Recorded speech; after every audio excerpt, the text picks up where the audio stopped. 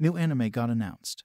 The new anime is called Sasaki and Peeps. The story is about Sasaki's droll corporate life, which is constantly filled with work. It leaves him tired and unfulfilled at the end of every day. In search of some companionship to fill the emptiness in his life, he visits a pet shop on a whim, not realizing he's about to change his life forever. After settling on an adorable bird and bringing it home, his new roommate reveals that it's actually an incredible sage from another world who promptly bestows Sasaki with supernatural powers as well as the ability to cross between worlds. All Sasaki wants to do is use these newfound powers to live in peace and comfort.